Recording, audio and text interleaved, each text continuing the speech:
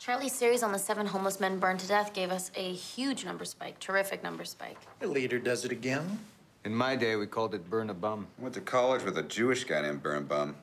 Became a bazillionaire. Surprise. Get a job, my friend.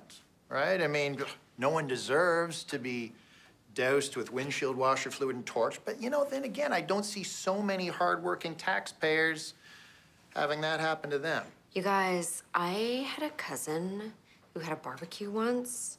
It was actually for a christening. It was a really nice party. But anyway, at the barbecue, she was pouring lighter fluid all over the briquettes, and she ended up getting it all over her cat. I mean, the cat was drenched with lighter fluid, okay?